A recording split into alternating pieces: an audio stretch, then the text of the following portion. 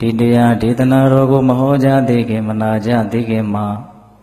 တရားတော်အလုံးကိုဟောကြားတော်မူခဲ့တဲ့ဘုရားရှင်ကိုတော်မြတ်ရဲ့အင်မတန်အေးချမ်းကြည်လင်တော်မူတဲ့မဟာကရုဏာကိုတိစရာတရားလုံးစုံကိုသိတော်မူမြင်တော်မူတဲ့သဗ္ဗညုတဉာဏ်ဒီဟူသောပညာကိုဒုမဟာကရုဏာကုံပညာကိုနှစ်ပါးစုံတို့ဖြင့်ပြည့်စုံတော်မူတဲ့ဘုရားရှင်ကိုတော်မြတ်ကိုယူသိမြတ်တို့ရှိခိုးပူတော်ကြအောင်စု အလုံးလက်ဥချီမှုပြီးတော့အာယုံပြုကြရအောင်ကရုဏာတိတလဟရယံပညာပိဇောတဝိဟတမောဟတမံသာနရမရလောကကရုံဝန္တိဒုက္ကတံဂတိဝိမု ക്ത ကရုဏာတိတလဟရယမဟာကရုဏာတော်ဖြင့်အေးမြသောစိတ်နှလုံးလေးရှိတော်မူပါပေထသော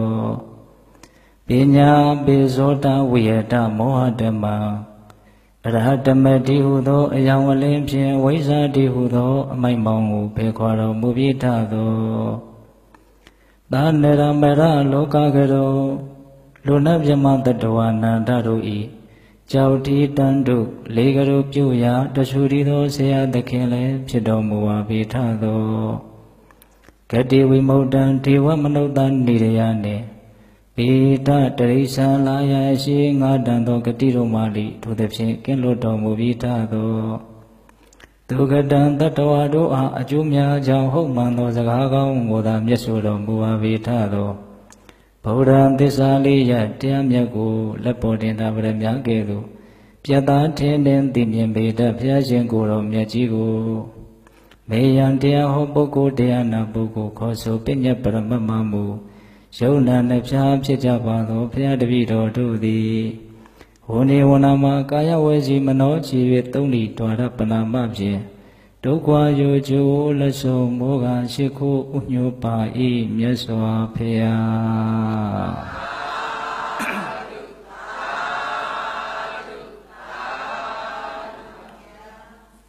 ပါရမီ7ပါးရှိတဲ့နှကဒီကနေ့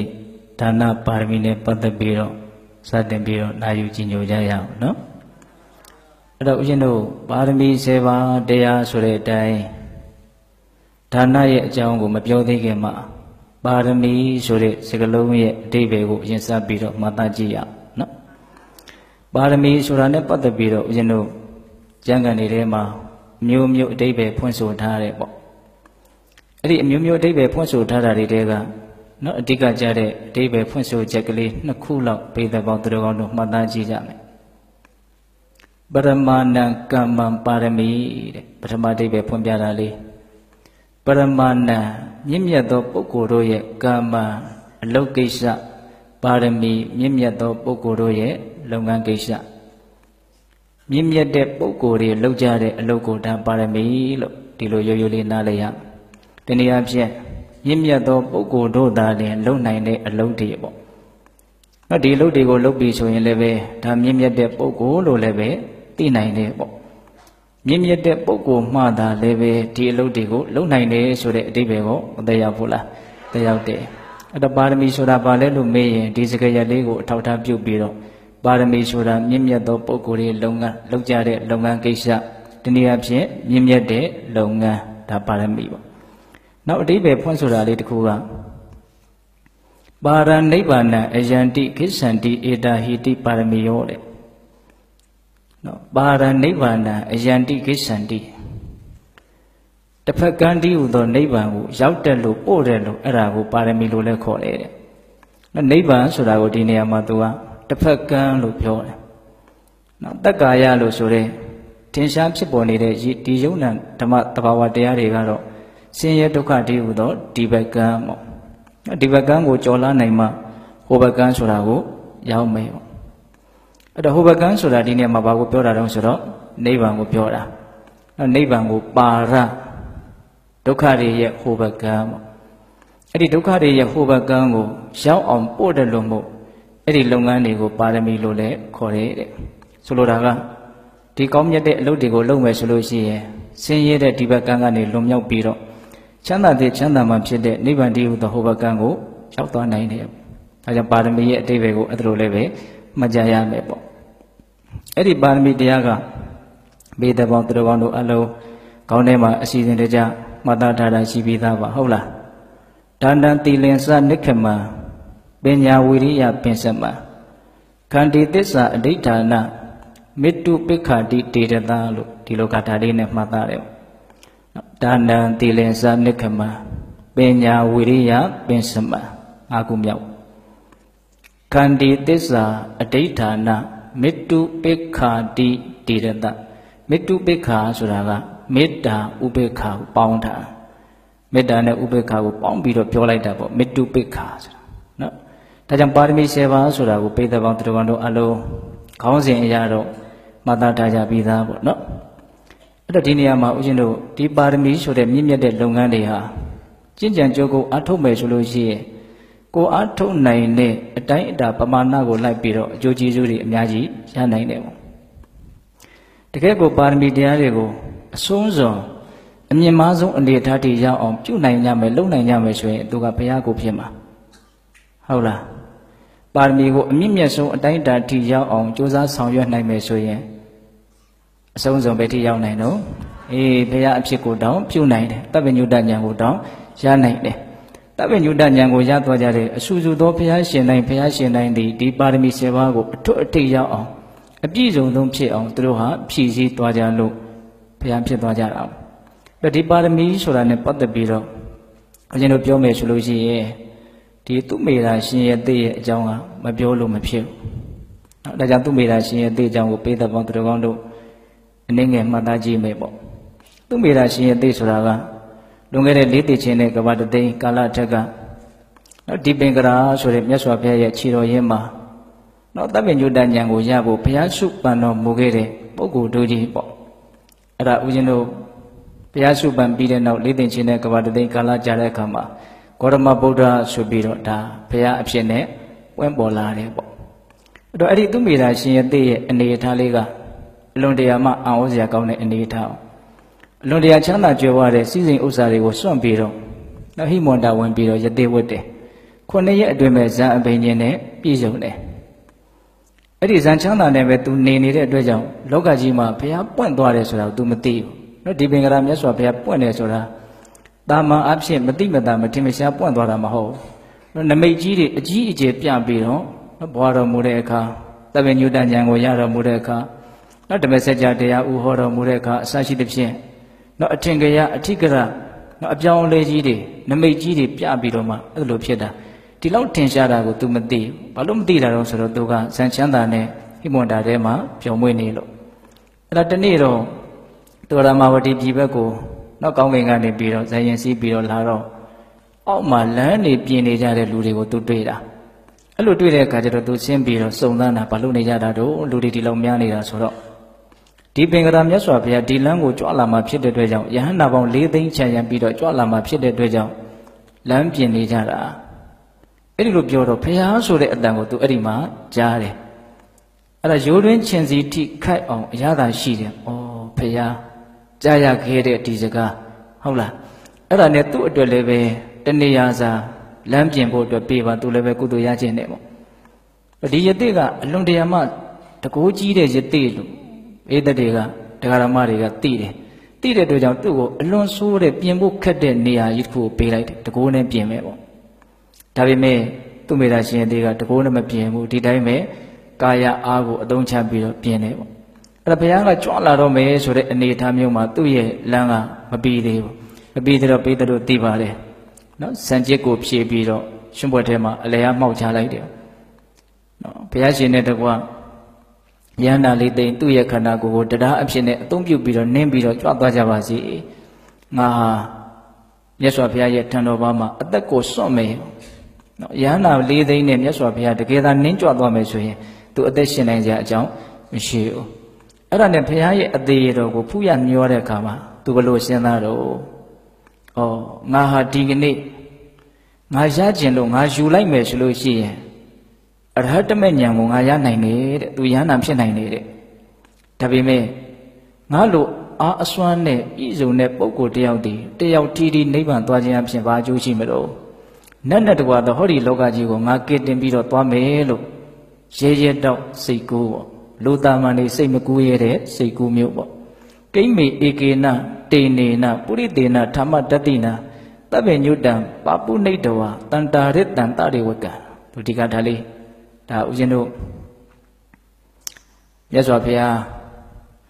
ကပိလောနေပြည်တော်ကိုပထမဦးဆုံးချိန်ကြွတယ်ကြွတော့ရွှေတော်မျိုးတော်တာကီဝင်တွေကသိကြတဲ့အတိုင်းမာနကအလွန်ကြီးတာဆိုတော့ရှင်မခိုးနိုင်ဘူးဝမချနိုင်ဘူးငယ်တဲ့ပုံကိုယ်တွေကိုပဲရှေ့ကနေပြီးတော့ရှ िख ိုးဥတင်ခိုင်းတယ်အဲ့ဒီမှာမြတ်စွာဘုရားကတကူပြားလေးဟာပြရတယ်ရွှေတော်မျိုးတော်တို့ရဲ့မာမနာကိုချိုးနှိမ်မှုအဲ့ဒီမှာမြတ်စွာဘုရားရဲ့အသေးရတော်ကိုရှင်သာရိပုတ္တရာကိုရမြတ်ကြီးကဖူးမြော်ရတော့ ဘုရားဖြစ်အောင်ဘယ်လိုလုပ်ခဲ့ရတယ်လဲဆိုတာကိုမေးလို့မြတ်စွာဘုရားကဗုဒ္ဓဝင်ပါဠိတော်ဆိုပြီးတော့အဲဘုရားကိုယ်တော်တိုင်ဟောခဲ့တာဒီအကြောင်းအရာတွေကဒါသူမေရဖြမနနော်သူမေရကထာဆိုတာဒါကတည်တံမှတ်တမ်းတင်ထားတာပေါ့နော်ကိမ့်မေဧကေနတေတိနေနပုရိတေနဓမ္မတတိနာတပ္ပညုတံပပုနိတဝါတန်တာရတံတရိဝက ငါလိုအားအစွမ်းနဲ့ပြည့်စုံတဲ့ပုဂ္ဂိုလ်တယောက်ဟာတကူကောင်းဆံပြီးတော့နိဗ္ဗာန်ကိုကိုတီးတီးသွားမယ်ဆိုရင်ဘာအကျိုးရှိမလဲနော်နတ်နဲ့တကွာသောလောကကိုငါဟာတပ်ပညုတဉာဏ်ကိုရအောင်လုပ်ပြီးတော့နတ်နဲ့တကွာသောလောကကိုငါကဲတင်မေလို့ဒီလိုဆုံးဖြတ်တယ်အဲ့လိုဆုံးဖြတ်ပြီးတော့သူဘုရားစုပန်တယ်လို့ဆိုကြပါစို့အဲ့ဒီမှာဦးဇင်းတို့ဘုရားစုပန်တဲ့ချိန်မှာအနာမှာဘယ်သူရှိတုံးဆိုတော့ပိသက်တွေထဲမှာ သူမိတ်တာဆိုတဲ့အမျိုးကောင်းသမီးလေးတယောက်ရှိတယ်ဒီပင်ကရာမြတ်စွာဘုရားကိုပူဇော်ဖို့အတွက်ဆိုပြီးတော့နော်ကြာပန်းရှစ်လက်သူယူလာတာအဲ့ဒါဒီသူမိတာရှင်ရသေးကိုမြင်မြင်ချင်းပဲနော်မေတ္တာပေမတ္တနော်လွှမ်းခြုံမိတဲ့အတွက်ကြောင့်ကြာပန်းငါးလက်ကိုနော်ဘုရားလောင်းသူမိတာကိုသူလှုပ်တယ်ရှင်ဘုရားလိုရှိရာကိုနော်လှူပါတတ်မှအသုံးပြုပါပေါ့အဲ့ဒီမှာပဲဒီပင်ကရာမြတ်စွာဘုရားက သူမိတာရှင်ရသေးကိုဘုရားတိတ်စကားမိန်ကြားတယ်ပေါ့နော်လာမဲ့လေးအသင်ချင်းနဲ့ကဘာတသိမ်းမှာနော်ဂေါတမဗုဒ္ဓဆိုတဲ့အမည်တော်နဲ့သဗ္ဗညုတဉာဏ်ကိုရလို့ဘုရားရှင်စေဧကံဖြစ်လိမ့်မယ်နမေတော်ကဘဇုခမေတော်ကဘဇုနော်လက်ဝဲတော်ရန်လက်ရတော်ရန်ကဘလို့အလှုပ်ကျွေးကဘသူအကုန်လုံးအတိအကျနော်အကုန်လုံးအတိအကျနော်ဗျာဒိတဗျာဒိတ်ဆိုတာဘလို့မှမလွဲနိုင်တဲ့စကား နော်ကောင်းငင်ကိုပြစ်လိုက်တဲ့ခဲဟာမြောက်လိုက်တဲ့ခဲဟာတေချာဘောမြေကြီးဘောကိုပြန်ကြမှာပြန်ကြလာမှာဖြစ်တယ်လို့ဘုရားရှင်ကိုရောမြတ်ကြီးတို့ပြောလိုက်တဲ့ဗျာဒိတ်စကားဒီမဖြစ်ဘူးဆိုတာမရှိဘူးအဲ့တော့လူတွေကအော်ဒီရှင်ရဲ့တိကလာမဲ့လေးတင်ချင်းတဲ့ကဘာတသိမှာဖះဖြစ်မဲ့ဖះရဲ့အလေဟာဖះရဲ့အညွန့်နဲ့လူတွေကအဲ့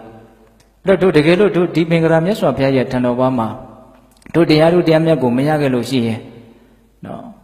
မြစ်ထဲမှာမျောနေတာဒီစိတ်ကန်းကိုမကတ်နိုင်ရင်ဟိုးအောက်ကြတဲ့စိတ်ကန်းကြရင်တော့တို့ကတ်နိုင်မှာပဲဆိုတဲ့အတွေ့မျိုးနဲ့လူတွေကဝိုင်းပြီးတော့ပူဇော်ကြသူမိတာရှင်ရဲ့သိကို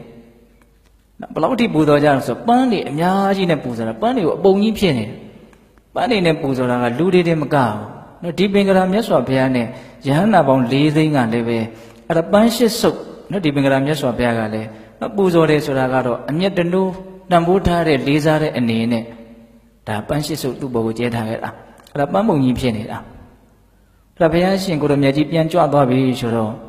အဲ့ဒီပန်းပုံကြီးပေါ်မှာထိုင်နေအရင်တို့ဘုရားလောင်းကသူ့မိသားကနော်အကုန်လုံးပြန်သွားကြပြီလူတွေလည်းပဲပူဇော်တဲ့လူတွေလည်းမရှိတော့ဘူးအဲ့ဒီတော့ပန်းမုံကြီးတော်မှာသူတပါးတယ်ငါ့ကိုဒီပင်ကရာမြတ်စွာဘုရားကဘုရားရှင်စီဧကံဖြစ်လိမ့်မယ်လို့ဗျာဒိတ်စကားမိန့်သွားတယ် ဘုရားရှင်တို့ရဲ့ဗျာဒိတ်ဆိုတာလည်းလွဲမားတယ်လို့မရှိဘူးတော့ဒီနေ့ပဲမနေ့ပြန်မယ်နော်တပ္ပညုတဉာဏ်ကိုရတော့မလို့မျိုးမြတ်စွာဘုရားလောင်းတော်ရဲ့စိတ်ထဲမှာအဲ့ဒါလိုအလွန်တရာမှထက်သန်တဲ့ယုံကြည်မှုနော်ဒါတွေကရှိနေတယ်ဒါမဲ့လို့ဘုရားဖြစ်လိမ့်မယ်လို့သာပြောသွားတာနော်ဘုရားဖြစ်အောင်ဘယ်လိုလုပ်ရမလဲဆိုတာကိုပြောသွားတာတော့မရှိဘူးအဲ့ဒီမှာဦးဇင်းတို့ထူးခြားချက်တစ်ခုကဘာလဲဆိုတော့နတ်တီပြမာတွေရောက်လာတယ်တဲ့ နတ်တီပြမာတွေရောက်လာပြီးတော့ဘာလို့ဘာပြောကြတော့ဆိုတော့အိုးအရှင်သူမေတာတေဟာဘုရားရှင်စီဧကံဖြစ်မယ်ဆိုတာဒါသိကြတယ်တဲ့ဘာဖြစ်လို့လဲဆိုတော့ရှေးတုန်းကဘုရားလောင်းနေဗျာဒိတ်ရပြီဆိုလို့ရှိရင်ဖြစ်ပေါ်ခဲ့မှုတဲ့နမိတ်တွေဟာလည်းပဲအခုလည်းဖြစ်နေတယ်တဲ့နော်နတ်တွေပြမာတွေကတတန်းအလွန်ရှိတာဆိုတော့သူတို့မှာအတွေ့အကြုံတွေရှိတယ်ပေါ့ဟုတ်လားရှေးတုန်းကအလောင်းတော်တွေဗျာဒိတ်ရပြီဘုရားဖြစ်မယ်လို့ဗျာဒိတ်ကိုခံရပြီဆိုလို့ရှိရင်ဖြစ်ပေါ်ယူဓမ္မရာ လောကကြီးရဲ့စမ်းကြဲတဲ့နမိတ်လက္ခဏာနော်ဒါတွေဟာလည်းပဲအခုလည်းပဲဖြစ်နေတယ်တဲ့အဲ့ဒါနမိတ်ကြီး32ပါးတဲ့အဲ့ဒါတွေအကုန်လုံးတော့ဥစဉ်ကောင်းထဲမှာမမှတ်နိုင်အဲ့ဒီတဲကစိတ်ဝင်စားတာလေးတော့မှတ်ထားတာတော့ရှိတယ်အဲ့ဒါကဘာလဲဆိုတော့တခြားတခြားသောနေ့တွေမှာလူတွေဟာမယောင်ရဲမတင်းတိမ်မှုမကျေနပ်မှုတွေနဲ့နေကြတာဒါပေမဲ့ဗျာဒိတ်တော်ခံယူတဲ့နေ့မှာတော့လူတွေရဲ့စိတ်ထဲမှာမယောင်ရဲဘူးမတင်းတိမ်မှုဆိုတာမရှိဘူးတဲ့ရောင်ရဲတင်းတိမ်မှုရှိနေတဲ့တဲ့ အော်စရာမကောင်းဘူးလားနော်ဒါဘုရားဖြစ်လာမဲ့ပုဂ္ဂိုလ်တူတယောက်ရဲ့နော်စွမ်းရည်တတ္တိကို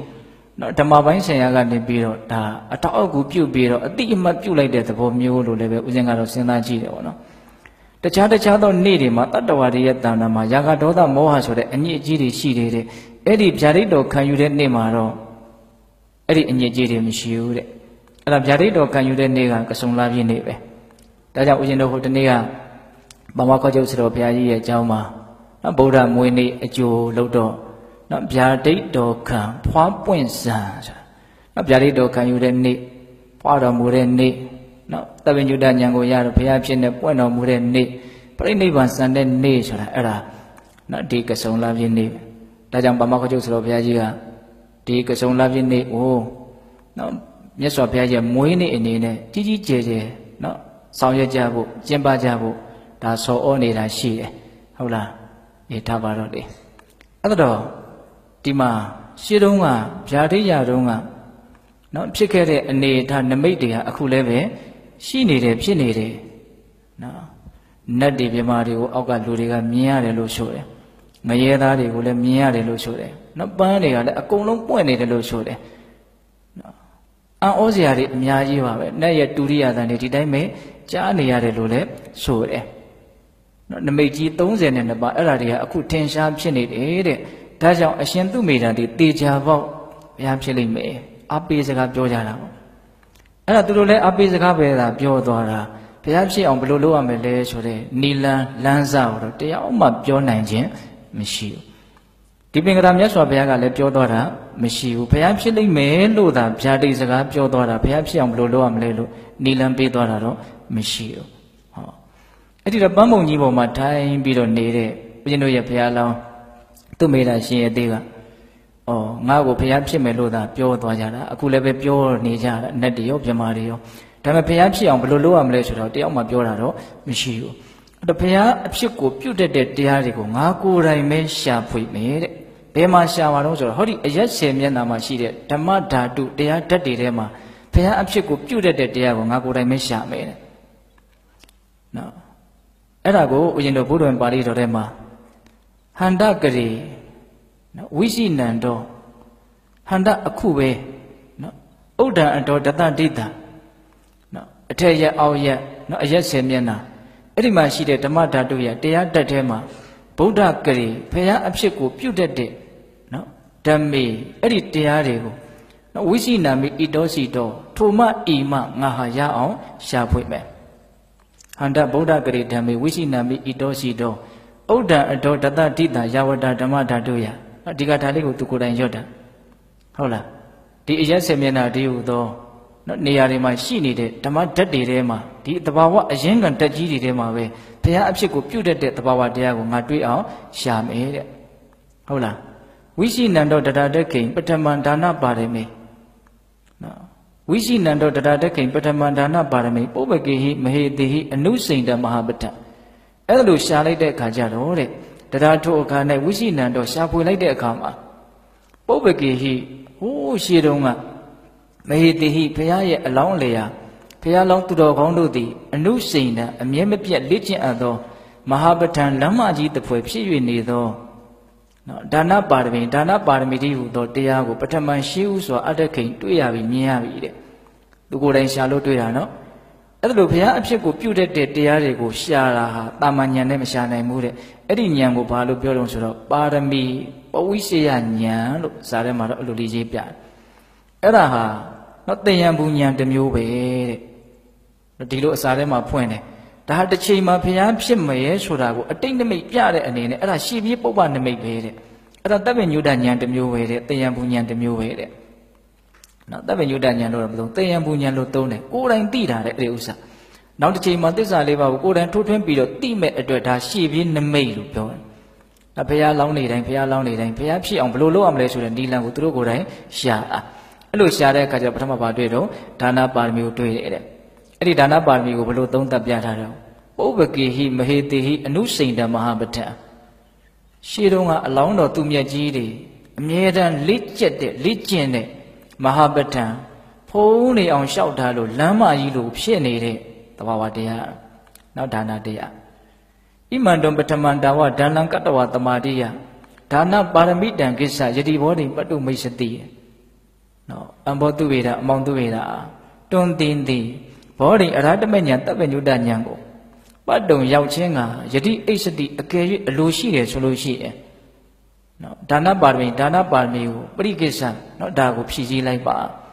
ဒါလံကတ္တဝမြဲမြဲမြဲမြဲတမာရိယစောက်တည်ပြီးတော့ဒါနပါရမီတံဒါနပါရမီကိုကိစ္စဖြည့်ဆည်းလိုက်ပါနော်ဒါနပါရမီကိုသင်ဖြည့်ပါတဲ့ဒါဆိုရင်သင်ဟာအရဟတမဉ္ဇဉ်တပ်ပညုတဉ္ဇဉ်ကိုရလို့ဘုရားဖြစ်မယ်ပေါ့ အဲ့လိုဒါနပါရမီကိုဖြည့်ဆည်းဖို့သူ့ကိုယ်သူဆုံးမတဲ့နေရာမှာသူကဥပမာပေးပြီးတော့ဆုံးမတယ်အဲ့ဒီဥမာကပေသက်ပေါင်းတော်တို့အဓိကထားပြီးတော့မှတ်ရမယ်နော်အဲ့ဒါသူကပါရမီ10ပါးမှာ10ပါးသလုံးဥပမာ10မျိုးတည်ပေးတယ်အဲ့တော့တညကိုအဲ့ဒီဥမာလေးတွေကိုဦးဇင်းတို့အရင်ပဲပြောပြောသွားမယ်ပေါ့နော်ခုဒီနေ့တော့ဒါဒါနပါရမီကိုဒီကနေစပြီးတော့ပြောမယ်ပေါ့အဲ့တော့ဒါနပါရမီနဲ့ပတ်သက်ပြီးတော့ဘုရားလောင်းကသူ့ကိုယ်သူဒါနပါရမီကိုဖြည့်ဆည်းဖို့အတွက် ကျင့်ကြံကြိုးကိုအထောက်ဖို့အတွက်ဥပမာပေးပြီးတော့တိုက်တွန်းတဲ့နေရာမှာဥမာကဘယ်လိုပေးတော့ဆိုတော့ယထာပိကုံမောတံဘုံသောယတ္တကတ္တစီအဒောကတော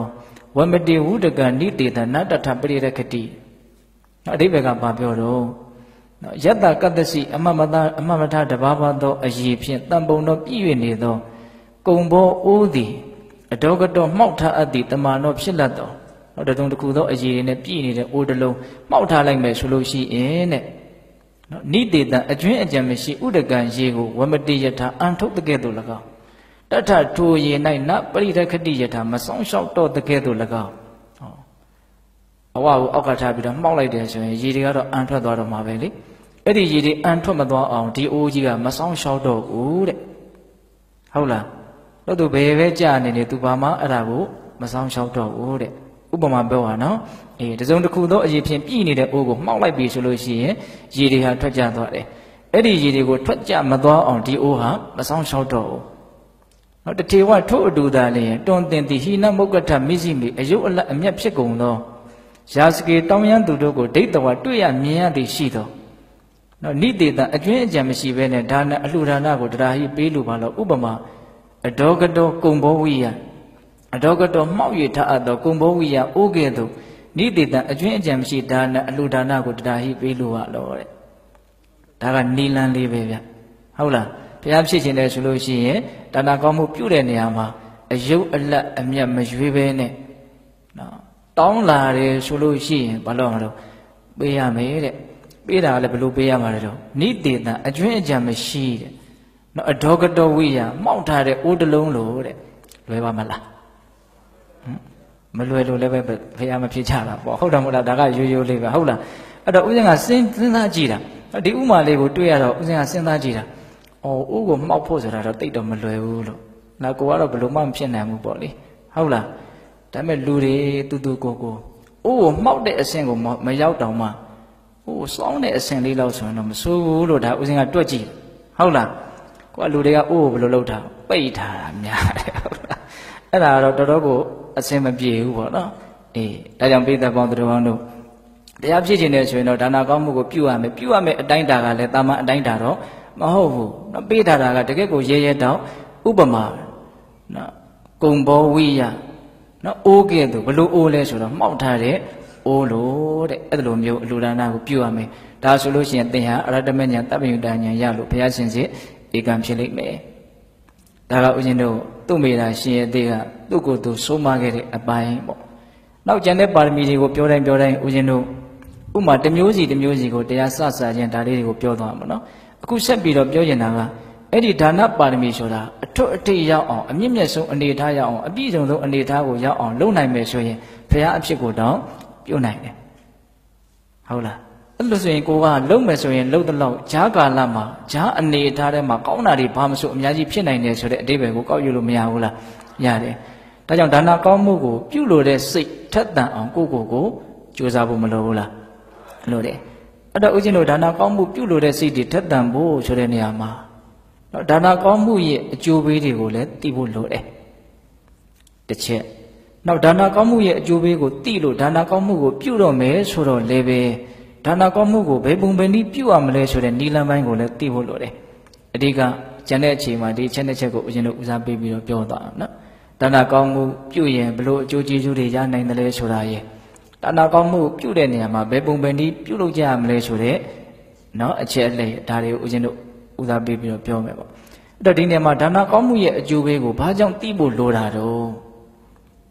ဒါနာကောင်းမှုရဲ့အကျိုးပေးကို သိပြီးတော့ဒါနာပြုတာနဲ့အကျိုးပေးကိုမသိဘဲနဲ့ဒါနာကောင်းမှုပြုတာနဲ့အကျိုးရတာချင်းမတူအဲ့ဒါကြောင့်မလို့ဒါနာကောင်းမှုရဲ့အကျိုးပေးကိုသိအောင်ကြိုးစားရမယ်လို့ပြောတာဟုတ်လားဒီနေ့မှာဦးဇင်းတို့မာကြီးဆိုတော့ဘုရားကြီးဟောထားတဲ့တရားလေးတစ်ပုဒ်ထဲမှာဒီဥပမာလေးကိုတွေ့ရဘူးတယ်ပေါ့နော်ဘာပြောထားတော့ဆိုတော့ကြီးကဒါကျမ်းဂန်တွေကနေထုံထုတ်ပြီးတော့ပြောထားတာပေါ့လေအပြောတော့ဆိုတော့ရှင်သာရိပုတ္တရာကမြတ်စွာဘုရားကို အလှူဒါနတစ်ခုပြုလိုက်လို့ဖြစ်ပေါ်သွားတဲ့ကုသိုလ်ကောင်းမှုရှင်သာရိပုတ္တရာရဲ့တန်တန်ပါရှိတယ်ဆိုကြပါစို့နောက်မြတ်စွာဘုရားကရှင်သာရိပုတ္တရာကိုလှူလို့တန်းလို့မြတ်စွာဘုရားရဲ့တန်တန်မှာဒါနကောင်းမှုတစ်ခုဖြစ်ပေါ်သွားတယ်လို့ဆိုကြပါစို့တော့ယန္တာတွေဖြစ်တဲ့အတွက်ကြောင့်ကုသိုလ်ဆိုတာကတော့မဖြစ်တော့ပါဘူးကရိယာပဲဖြစ်တာပါသို့တော့ဥပမာကိုပြောတာရှင်သာရိပုတ္တရာကမြတ်စွာဘုရားကိုလှူလို့ရှင်သာရိပုတ္တရာရဲ့တန်တန်မှာဖြစ်တဲ့ဒါနကောင်းမှုရဲ့ မြတ်စွာဘုရားကရှင်သာရိပုတ္တရာကိုလှူလို့မြတ်စွာဘုရားရဲ့တန်တန်မှာဖြစ်ပေါ်မဲ့ဒါနကောင်းမှုရဲ့အဲ့ဒီဒါနကောင်းမှုနှစ်ခုဘယ်ဒါနကောင်းမှုကပို့ပြီးတော့အကျိုးပေးထက်သန်မလဲဆိုတဲ့မေခွန်းပေါ့တာမန်အပြင်စဉ်းစားမယ်ဆိုရင်ရှင်သာရိပုတ္တရာကမြတ်စွာဘုရားကိုလှူတဲ့ဒါနကောင်းမှုကအကျိုးကျေးဇူးများတယ်လို့ထင်ကြရှိတယ်။ဟောဆိုမြတ်စွာဘုရားကိုလှူတာ哦။နောက်မြတ်စွာဘုရားကရှင်သာရိပုတ္တရာကိုလှူတာကအကျိုးနည်းမယ်လို့ထင်ကြရှိတယ်။ဘာလို့ဆိုရှင်သာရိပုတ္တရာကမြတ်စွာဘုရားတဲ့နော်အစင်နေတယ်ကို။ ဒါပေမဲ့အဖြေကအဲ့လိုမဟုတ်ဘူးတဲ့။မြတ်စွာဘုရားကရှင်သာရိပုတ္တရာကိုလှူတဲ့အလှူဒါနကပို့ပြီးတော့အကျိုးပေးထက်သန်နေတဲ့။ဘာဖြစ်လို့လဲဆိုတော့ဒါနရဲ့အကျိုးပေးကိုရှင်သာရိပုတ္တရာထက်မြတ်စွာဘုရားကပူတိလို့ပါတဲ့ကဲပိဿပေါင်းတော်တို့ဒါကိုနားလည်ရမယ်နော်ဒါကြောင့်ဒါနရဲ့အကျိုးပေးကိုအများကြီးသိတဲ့လူနဲ့အများကြီးမသိတဲ့လူဒါနကောင်းမှုပြုတာချင်းတူတော်လည်းပဲအကျိုးရတာချင်းမတူနိုင်ဘူး နော်သိတော့သိတယ်ဒါပေမဲ့အများကြီးသိတာရဲ့နည်းနည်းသိတာရဲ့လည်းမကွာနိုင်ဘူးလား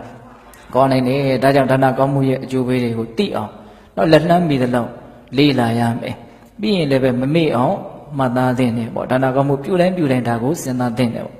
နော်ကံကံရဲ့အကျိုးကိုစဉ်းစားလို့ရှိရင်အများကြီးဆက်လက်ပြီးတော့ဉာဏ်ပညာတွေမြင်မနိုင်တယ်နော်အေးဒါကြောင့်ဒါနရဲ့အကျိုးပေးကိုအဲ့လိုသိအောင်နားလည်အောင်လုပ်ရမယ်တော့ဒါနရဲ့အကျိုးပေးကြီးတယ်ဆိုတာနဲ့ပတ်သက်ပြီးတော့ဦးဇင်းတို့ ဟိုအများကြီးမပြောပါဘူးတုတ်တန်လေးတစ်ခုတူတူလေးပြောပြမယ်ဦးဇင်းတို့အင်္ဂုတ္တပါဠိတော်စက္ကနိပတ်ထဲမှာစလင်္ကတမ္မနာဂတတုတ်တန်ဆိုတာလေးရှိတယ်အဲ့ဒီတုတ်တံမှာမြတ်စွာဘုရားကယဟန်တော်တွေကိုဘာဟောထားလဲဆိုတော့ယဟန်တို့တဲ့အင်္ဂါ6ပါးနဲ့ပြည့်စုံအောင်သာဒါနာကောင်းမှုတစ်ခုပြုနိုင်ပဲဆိုလို့ရှိရင်အဲ့ဒီဒါနာကောင်းမှုရဲ့အကျိုးပေးဟာဘယ်ရွေ့ဘယ်မြရှိပါတယ်ဆိုတာကိုဘလို့လူကမှတိုင်းတန်ပြီးတော့မပြနိုင်ဘူးတဲ့ နော်အင်္ဂါ6ပါးနဲ့သာပြည့်စုံအောင်လုပ်ဒါနာကောင်းမှုတစ်ခုလုပ်တဲ့ခါမှာ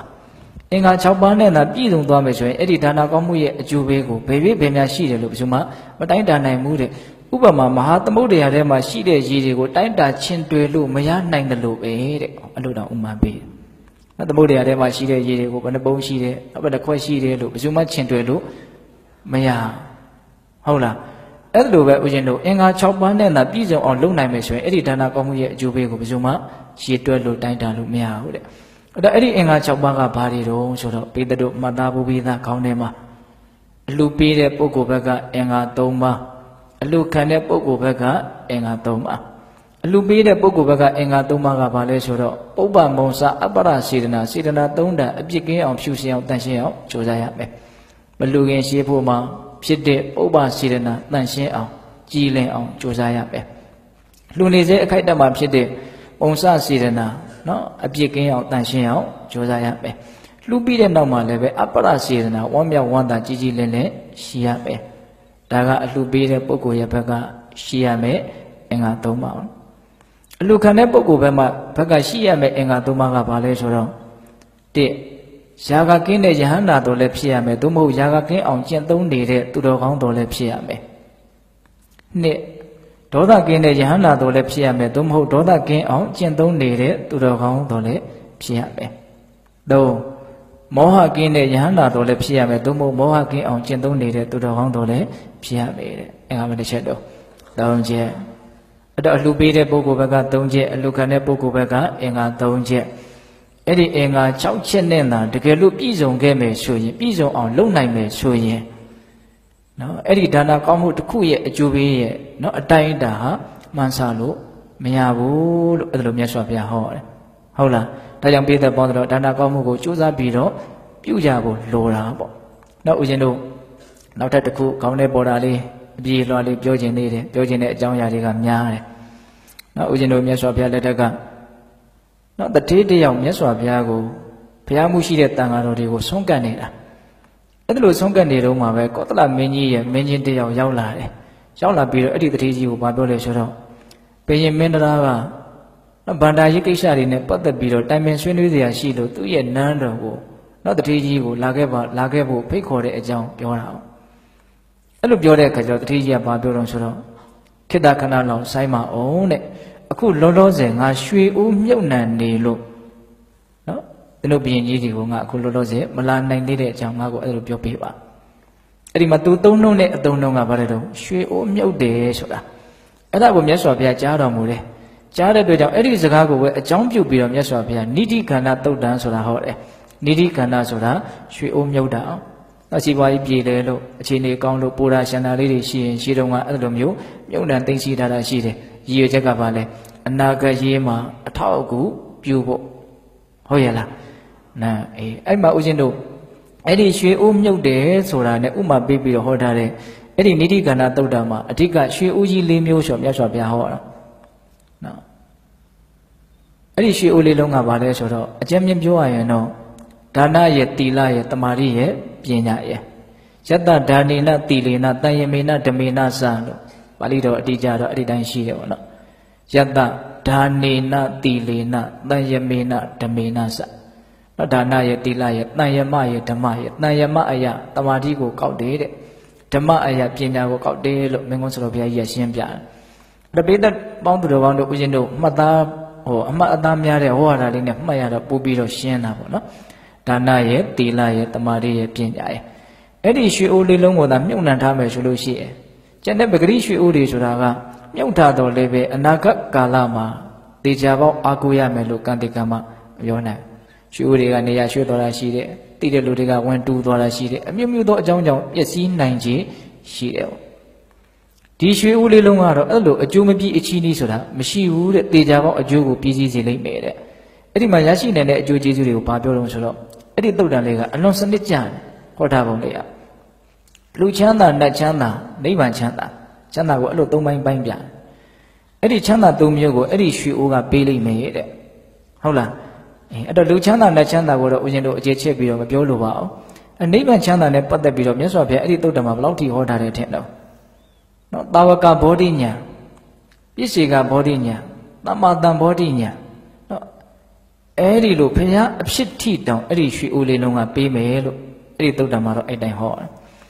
တော့အဲ့လောက်ထိအကျိုးကြီးမှမှုကိုဖြစ်စေနိုင်တဲ့ရွှေအိုးလေးလုံးထဲမှာဒါနဆိုတာတလုံးအပါအဝင်ရှိမနေဘူးလားအင်းအဲ့ဒါတတိထားရမယ်တတိထားရမယ်နော်နော်ဒါနတစ်ခုဟာအဲ့ဒီမှာပါဝင်နေတယ်ဆိုတာလေးကိုတတိထားရမယ်ဒါကြောင့်အလွန်အကျိုးကြီးတဲ့ဒီဒါနကောင်းမှုကိုပေးတဲ့ပေါင်းသူတော်ကောင်းတို့ဦးဇင်းတို့တွေနော်အများကြီးစူးစမ်းကြဖို့လိုတယ်ပေါ့ဒီနေ့ဒါနကောင်းမှုပြုတဲ့နေရာမှာအဓိကကအပစ္စည်းဥစ္စာရှိဖို့ဆိုတာတဲ့ယုံကြည်မှုတတ်တာတရား သိမြင်နားလည်မှုပညာတရားရှိဖို့ကပို့ပြီးတော့အရေးပါတယ်။ဟောရှိတိုင်းလှူနိုင်တာမဟုတ်ဘူးနော်။တကယ်တမ်းက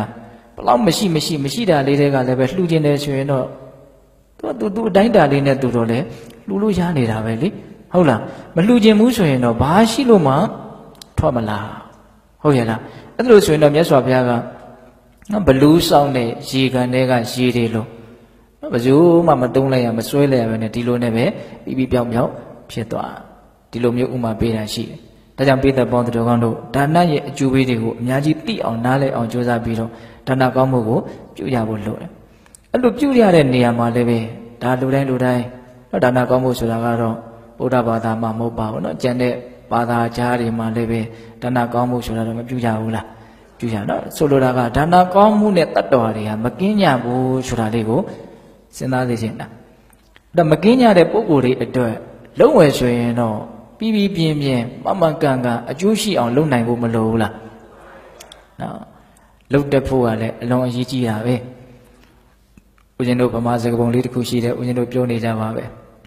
အစင်မတက်တော့စမ်းလျက်နဲ့မလှနော်ဆင်တော့ဆင်ထားတာပဲမတက်တဲ့အခါကျတော့မလားအငင်မတက်တော့ပန်းလျက်နဲ့မရတဲ့ငင်တော့ငင်းကြည့်တာပဲ ပန်းလာပဲအဖတ်တင်လိုက်တယ်မရဒါကဘာလဲဆိုတော့ဘာလုပ်ငန်းပဲဖြစ်ဖြစ်နီလန်းဟာအရေးကြီးတယ်ဆိုတာလေးကိုပြောတာဟုတ်ရလားဒါကြောင့်ဒါနာကောင်းမှုပြုတဲ့နေရာမှာတော့မှနီလန်းကအများကြီးအရေးပါအောင်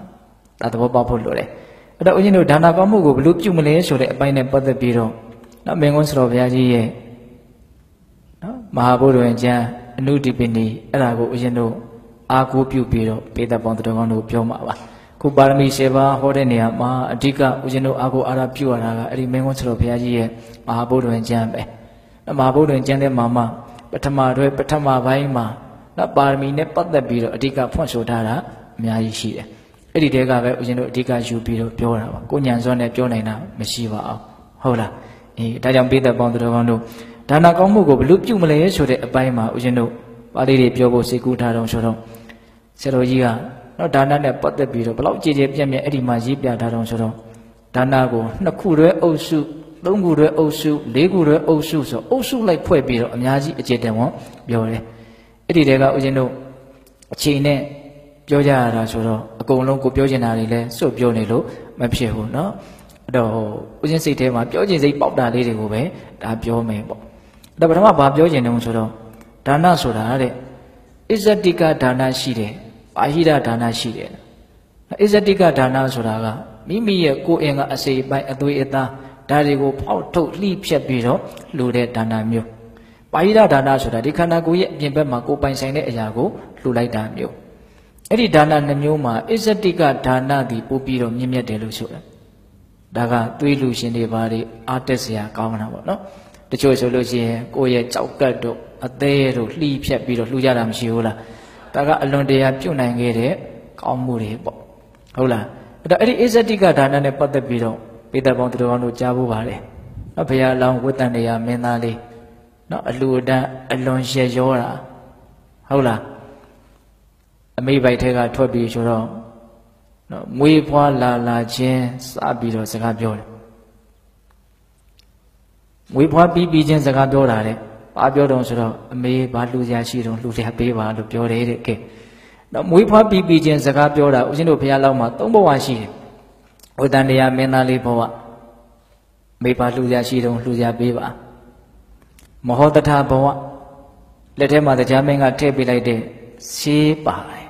ဒါပါလေလို့မအေးကမေးတော့ဒါဆေးယောဂပေါင်းစုံကိုပျောက်တယ်ပြောတာဝေဖွားပြီးပြီးချင်းပြောတာနောက်ထပ်မွေးဖွားပြီးပြီးချင်းပြောတဲ့ဘဝကဘုရားဖြစ်မဲ့ တိတ္တထမင်းသားဘဝနော်အခောဟမတမိလောကကြီးမှာငါအမျက်ဆုံးနော်စစ်တောဟမတမိလောကကြီးမှာငါအကြီးဆုံးဟုတ်လားအဲ့လိုမျိုးစကားကြီးငါခွန်းလောက်ပြောတာရှိတယ်နော်ဒါကဦးဇင်းတို့ကြည်ကြည်ပြတ်ပြတ်မှတ်သားစရာတော့ရှိတာအဲ့တော့ပြောချင်တာကအဲ့ဒီဝတ္တန်တရားမင်းသားလေးနော်အလှဒါနရရောပုံကလေးသူတိတ္တဆအရွယ်လေးခုနှစ်နှစ်သားရှစ်နှစ်သားလောက်ပဲရှိအောင်မယ် နော်ခဏခဏသူ့ရဲ့လေဘင်းကလေရွဲကိုသူချွတ်ပြီးတော့လှူတာရှိတယ်ခဏခဏချွတ်လှူတာနောက်ဒီနေ့ကတော့နောက်ကလေးမလေးတယောက်၃နှစ်လောက်ပဲရှိတယ်သူ့လေဘင်းကဆွဲချိုးကိုဘုန်းကြီးကိုလှူခြင်းပါတယ်ဆိုတော့အဲဥစဉ်တီရောက်လာနောက်ရွှေဆွဲချိုးလေးသူလာလှူတာအဲ့ဒါဥစဉ်ကအော်သူလှူတာယူရမှာတော့မှနော်ခက်ခက်ခက်ပါလားဟဲ့လို့အောင်မယ်ဒါပေမဲ့ငါလည်းပဲဖះပူဇော်ထားလိုက်မယ်ဆိုတော့အဲ့ဒါဖះပူဇော်ထားလိုက်နော်လူတွေကသူ့စာလေးနဲ့သူ့ကိုသူ့သူလာကြတာပေါ့ဟုတ်လားအေးအခုလည်းပဲဘုရားလောင်းက အဲ့ဒါလိုအများကြီးလှူတာကို तू အားမရအားမရတဲ့ခါကျ तू ဘာစဉ်းစားလဲဆိုတော့ဩဒီချိန်မှာတစုံတယောက်ကများငါရဲ့နှလုံးသားကိုလိုချင်တယ်လို့များလာပြောမှဆိုငါအဲ့ဒီနှလုံးသားကိုဖြတ်ပြီးတော့ကိုလှူပလိုက်မယ်သူစဉ်းစားတကယ်လို့များတစုံတယောက်ကမင်းရဲ့ခေါင်းကိုရချင်တယ်ဆိုရင်ငါရဲ့ခေါင်းကိုငါဖြတ်ပြီးတော့ပေးလိုက်မယ် ဓမ္မမို့အဲ့ဒါတွေကငါအတွက်အသုံးမကျပါဘူးမင်းငါတို့အိမ်ကိုလိုက်ခဲ့ပြီးတော့တသက်လုံးငါတို့ရဲ့ကြီးကျွန်ဖြစ်နေငါတို့ခိုင်းတာကိုလုပ်ရမယ်လို့များခေါ်မယ်ဆိုရင်လေငါကြီးကျွန်ဖြစ်နေလိုက်သွားမယ်လို့လို့စဉ်းစားနေတဲ့ဘလို့စိတ်တွေတုံးတော့ဦးစင်းကတော့နားမလည်နိုင်ဘူးပေါ့နော်ဟုတ်လားတက္ကရာမတို့ဦးစင်းတို့တွေကနော်အယံကိုကြံထန်လုံးတာဆိုတဲ့အခါကျတော့ဟုတ်လားဒီလိုသူများကိုပေးမယ်ပေးမယ်ဆိုတာကြီးကတော်တော်ကိုမလွယ်တဲ့ကိစ္စတော့ဟုတ်လားအဲ့လိုစဉ်းစားတဲ့အခါကျတော့အဲ့ဒီစဉ်းစားတဲ့ဒဏ်ချက်ကို မဟာပထဝီမြေကြီးမခံနိုင်ဘူးတဲ့မြေကြီးတုံတယ်မြေကြီးလှုပ်တယ်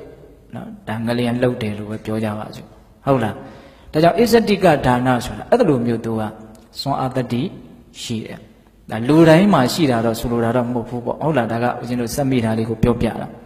နော်နောက်ပြီးတော့ဦးဇင်းတို့ဒါနအမျိုးအစားတွေခွဲပြီးတော့ပြောတဲ့နေရာမှာ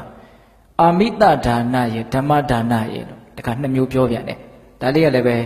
အလုံးအကျုံးဝင်နေတဲ့ကြောင့်မှတ်သားစရာကောင်းတယ်နော်အာမိတဒါနဆိုတာကနော်စားစရာတောက်စရာဝတ်စရာနေစရာထိုင်စရာသုံးဆွဲစရာအစရှိတဲ့ပစ္စည်းဝတ္ထုအစုစုကိုလှူဒါန်းတာကိုအာမိတဒါနလို့ပြောတယ်ဓမ္မဒါနဆိုတာကတော့စစ်မှန်တဲ့အတိညာဏ်ကိုရဖို့အတွက်တရားအတိညာဏ်ဖြစ်ဖို့အတွက်ပြောပြတာရေးပြတာဒါကိုဓမ္မဒါနဟုတ်လားအဲ့ဒီမှာအာမိတဒါနတဲ့ဓမ္မဒါနသည်အလွန်အကျူးအထူးသဖြင့်မြတ်တယ်တဲ့ နော်ဒါလည်းပဲလူတိုင်းကြားဖို့ပါတယ်ဒါပေမဲ့ဘာကြောင့်အမိတဒါနတဲ့ဓမ္မဒါနကမြတ်ရတယ်လဲဆိုတဲ့အကြောင်းတရားလေးကိုတော့စဉ်းစားကြည့်စီခြင်းတယ်ဘာလို့အမိတဒါနတဲ့ဓမ္မဒါနကမြတ်ရတာတော့တကယ်လို့တစုံတယောက်ကအဲ့လိုမေးမယ်ဆိုရင်ဒီကဓမ္မတို့ဦးဇင်းတို့ဖြေစရာရှိရမယ်အာမိတပစ္စည်းဝတ္ထုတွေကြောင့်ဖြစ်ပေါ်တဲ့ချမ်းသာဒုက္ခမျိုးထက်ဓမ္မတရားအသိဉာဏ်ကြောင့်ဖြစ်ပေါ်လာတဲ့ချမ်းသာဒုက္ခကအစမတန်ကြီးကျယ်မြင့်မြတ်တယ်ဒါကြောင့်ဓမ္မဒါနကမြတ်တယ် ဟုတ်လားပစ္စည်းဝတ္ထုတွေကြောင့်ဒုက္ခကတိငြိမ့်တယ်ဆိုတာမရှိဘူးတရားကိုတကယ်သိမယ်ဆိုရင်ဒုက္ခကတိမငြိမ့်နိုင်ဘူးလားငြိမ့်နိုင်တယ်ဖြစ်ပေါ်လာမဲ့အကျိုးဆက်တွေကအယံကွာခြားမနေဘူးလားကွာခြားနေတယ်ဒါကြောင့်အမိတကိုပေးတာတဲ့ဓမ္မကိုပေးတာကအလွန်တရားမှမြင့်မြတ်တယ်အောင်ဒီနေ့မှာဦးဇင်းတို့မင်းကုန်းဆရာဘုရားကြီးကဓမ္မဒါနပြုတယ်ဆိုတာတရားတွေကိုဟောနိုင်မှရေးနိုင်မှဒီလိုမှမဟုတ်ပါဘူးတဲ့ နော်တရားစာအုပ်တွေလှူတာမျိုးတရားခွေတွေဖြန့်ချီတာမျိုးနော်တရားနာဖြစ်ဖို့အတွက်တရားစကားပြောဖြစ်ဖို့အတွက်ပံ့ပိုးပေးတာမျိုးအဲ့လိုမျိုးလုပ်ရင်လည်းပဲဒါဓမ္မဒါနကုသိုလ်ကိုရတယ်လို့ဆိုရမေးတဲ့ဥပမာနော်သူများကိုဆေးမလှူနိုင်လို့ဆေးမကုတတ်လို့ရှိတော်လည်းပဲနော်ဆေးနီးကိုပေးမယ်ဆိုလို့ရှိရင်ဒါဆေးကိုလှူရရောက်တယ်ဆိုတဲ့အတိပ္ပယ်မျိုးနဲ့ဆိုကြီးကဥမာပေးပြီးတော့ပြောတာရှိတယ်ဟုတ်လားဒါကြောင့်ပေးတဲ့ပေါင်းသူတော်ကောင်းတို့ အမိတဒါနတဲ့မြင့်မြတ်တဲ့ဓမ္မဒါနဒူးကိုလည်းပဲရအောင်ကြိုးစားရမယ်နော်ကိုကိုယ်တိုင်သိပြီဆိုလို့ရှိရင်ဒါကိုသိတဲ့အတိုင်းတာလေးနဲ့ပေါ့နော်ကိုကိုယ်တိုင်သိပြီဆိုလို့ရှိရင်သိတာလေးကိုသူများကိုပြောမယ်ဆိုရင်ပြောလို့မရဘူးလားရတယ်တချို့ကပြောကြတာရှိတယ်အာဒီလိုတော့မပြောတတ်ဘူးနော်ဒီပြင်ဒီပြင်စကားတွေကြတော့အသေးစိတ်တစ်တစ်ခွာခွာအရန်ပြောတတ်တာတွေရှိတယ်မဟုတ်လားရှိရနော်အရန်တချို့ကတရားမေးမယ်ဆိုရင် မမှတ်မိဘူးဒီလိုတော့ပါရမီကနဲတယ်ဒီပြင်ဒီပြင်ဟာတွေအများကြီးမှတ်မိနေတာတွေမရှိဘူးလားရှင်နော်အလွန်ဝေးကွာတဲ့အချိန်ကာလကအနေထားတွေတောင်တချို့ခေသေးတွင်းကြပြောတယ်ဆိုတယ်ဒါပေမဲ့တရားကြတော့မပြောအမှန်ဆိုရင်ပြောဖို့မကောင်းဘူးလားကောင်းတယ်နော်ဒါကြောင့်ကိုယ့်ရဲ့အတိုင်းဝိုင်းကိုမိသားစုကိုဆွေမျိုးဒါတွေရဲ့အပေါ်မှာဓမ္မဒါနကုသိုလ်တို့ကိုပြုလုပ်ဖို့လုပ်တယ် အဲ့ဒါဟာအမြင့်မြတ်ဆုံးသာသနာပြုနည်းဖြင့်သာသနာပြုတယ်လို့လည်းမဆိုနိုင်ဘူးလားဆိုနိုင်တယ်ဒါကြောင့်အမိတဒါနကိုကြီးပြုနေလို့မလုံလောက်နော်ဓမ္မဒါနလည်းပြုမလို့ဘူးလားလိုတယ်အေးအဲ့တော့ဒါနနှစ်တွဲရှိသွားတယ်နော်နောက်ဦးဇင်းတို့ဆက်ပြီးတော့လူတွေတည်တဲ့တည်လိုက်တဲ့အတွဲတွဲဒါနတွဲတွဲအဲ့ဒါဘာလဲဆိုတော့တာဝိဇ္ဇဒါနနဲ့အနဝိဇ္ဇဒါနဟောတာဝိဇ္ဇဒါနဆိုတာကလောဘဒေါသမောဟအပြစ်တွေခြံရံပြီးတော့လှူတဲ့အလှူဒါန နဝိဇ္ဇဒါနဆိုတာအဲ့လိုလောဘဒေါသမောဟအပြစ်တွေမခြံရံပဲနဲ့အလွန်တန်ရှင်းစင်ကြယ်တဲ့အလှူဒါနနော်ဒါကိုဦးဇင်းတို့ပူပြီးတော့ဘောလွန်ထင်ရှားအောင်ပြောရလို့ရှိရင်နော်ဒါနာကောင်းမှုပြုရင်းနဲ့ဦးဇင်းတို့ဗုဒ္ဓဘာသာဝင်တွေမှာအများကြီးအကုသိုလ်တွေဖြစ်ကြတာတွေမရှိဘူးလားရှင်တော့ငါတို့အလှူမှာနော်ဝက်ကဘလောက်ကြက်ကဘလောက်ဒီလိုတတ်ကြတာတွေချို့မရှိဘူးလားနောက်အလှူပွဲမှာဇက်ပွဲတွေငှားတာအငိမ်ပွဲတွေငှားတာတွေမရှိဘူးလားရှိတယ်ဒါပါတွေခြံရမ်းနေတာ အကုသိုလ်တွေခြံရမ်းနေတာနော်အကုသိုလ်တွေခြံရမ်းနေတာဘာသာကြီးကိုဗန်းပြပြီးတော့ကိုယ့်ရဲ့ပျော်ရွှင်ခြင်းတဲ့စိတ်ကိုအာသာဖြေကြတာပေါ့နော်ဒါတွေကအလွန်များတယ်နော်ဦးဇင်းတို့ဘောဓိမြိုင်ဆရာတော်ဘုရားကြီးပြောတာလေးရှိတယ်အပျော်အပြက်ပြောမိရင်ပြက်မှာပဲတဲ့ဗမာလူမျိုးကအပျော်အလွန်မဲ့တယ်ပျော်ဝဲရှင်ပွဲမရှိတဲ့လားလို့ကိုမရှိဘူးတဲ့နော်အယံငွေကိုဖြုံးတီးကြတယ်အချိန်ကိုဖြုံးတီးကြတယ်ဟုတ်လားဒါမှတော့ဒါတွေကိုပြောရတာတိတ်ပြီးတော့ စိတ်လည်းမချမ်းသာပါဘူးဟုတ်လားအေးတိုးတော်လည်းပဲအဲ့လိုဒါနမျိုးသည်တာဝိဇ္ဇဒါနနော်အပြစ်တွေခြံရံပြီးတော့အကုသိုလ်တွေခြံရံပြီးတော့လှူတဲ့ဒါနမျိုးနော်ဒီနေရာမှာဦးဇင်းတို့သဝိဇ္ဇဒါနတဲ့အနဝိဇ္ဇဒါနကမြတ်တယ်ဆိုတာတော့အထူးပြောစရာမလိုဘူးပေါ့အဲ့တော့ဒီနေရာမှာနည်းနည်းလေးသတိထားစရာကောင်းတာစိတ်ဝင်စားစရာကောင်းတာလေးအချက်တစ်ချက်ပေါ့အဲ့ဒါကဘာလဲဆိုတော့သဝိဇ္ဇဒါန နော်အပြစ်တွေခြံရံပြီးတော့အကုသိုလ်တွေခြံရံပြီးတော့ပြုကြတဲ့ဒါနမျိုးအကျိုးပေးလာတဲ့အခါမှာဘလို့သဘောရှိလဲဆိုတာလေးကိုစိတ်ဝင်စားစရာကောင်းတယ်တာဝိဇ္ဇဒါနရှင်များဟာတဲ့ဖြစ်လျာဘဝမှာကောင်းရောင်ကောင်းဝယ်နဲ့အကျိုးပေးဘူးတဲ့မဟုတ်တာတွေမကောင်းတာတွေလုံးမအကျိုးပေးတာတဲ့ဗျာဟာဒီလုပ်ငန်းတွေကအကုသိုလ်တွေများလိုက်တာရက်လိုက်မှပဲကောင်းတာတွေလုံးမပြောင်းလို့မယ်ဆိုအဲ့ဒါကောင်းတာလုံးရင်သူအဆင်ပြေတော့ဟောဒါပါလေဆိုတော့ ကုသိုလ်လုပ်တော့ကအကုသိုလ်တွေခြံရံခဲ့လို့နော်ကိုယ့်ရဲ့အကျိုးပေးကလည်းအကုသိုလ်နဲ့မှပဲအကျိုးပေးတော့တာကုသိုလ်နဲ့အကျိုးမပေးဘူးကြောက်စရာမကောင်းဘူးလားကောင်းတယ်နော်ဒါကြောင့်ပေးတဲ့ကောင်းတဲ့ကောင်းတို့တာဝိဇ္ဇဒါနကိုတတ်နိုင်တယ်မြရှောင်ဖို့မလိုဘူးလားလိုတယ်နော်အနဝိဇ္ဇဒါနကိုရွေးချယ်ပြီးတော့ပြုလုပ်နိုင်ကြဖို့လိုတယ်ဒါကတတော်ရဲ့ဟုတ်လားနောက်ဦးဇင်းတို့ပို့ပြီးတော့နော်အရေးကြီးဒါနနဲ့မကင်းကြတဲ့ပုံကိုယ်တွေသိစရာကောင်းတဲ့အတွေ့အတွေ့ကဘာလဲ ပုဂ္ဂလိကဒါနနဲ့တန်ခိကဒါနဟောနော်ပုဂ္ဂလိကဒါနနဲ့တန်ခိကဒါနပုဂ္ဂလိကဒါနဆိုတာကပုဂ္ဂိုလ်ကိုရည်ရွယ်ပြီးတော့လှူတာနော်ဒီဘုန်းကြီးကိုကြည်ညိုတယ်ဒီလူကိုသဘောကျတယ်ဒီလူကိုမှပေးခြင်းတာဟုတ်လားအဲ့လိုမျိုးပုဂ္ဂိုလ်ဆွဲကလေးနဲ့လှူတာတန်းတာကိုဘာလို့ခေါ်တော့ပုဂ္ဂလိကဒါနနော်တန်ခိကဒါနဆိုတာကြတော့အဲ့လိုမဟုတ်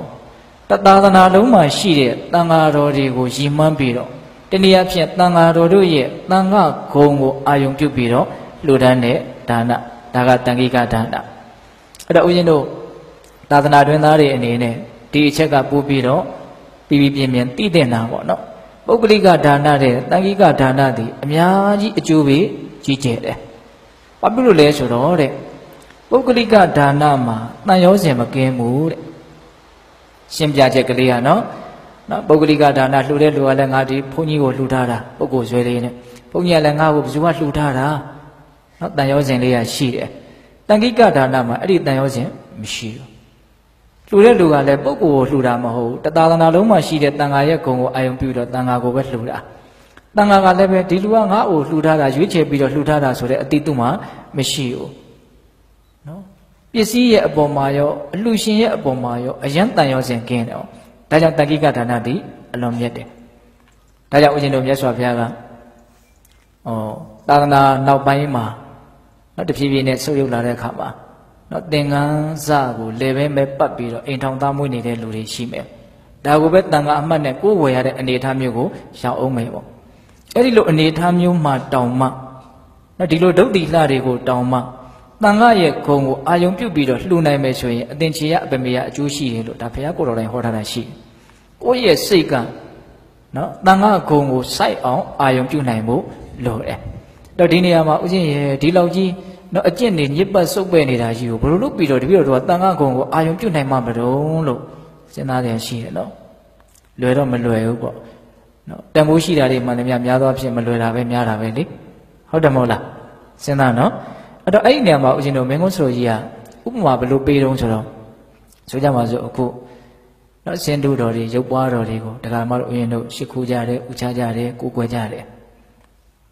ဘာအမှန်နဲ့ကိုးကွယ်တာတော့ ဖះအမှန်နဲ့ကိုးကွယ်တာပေါ့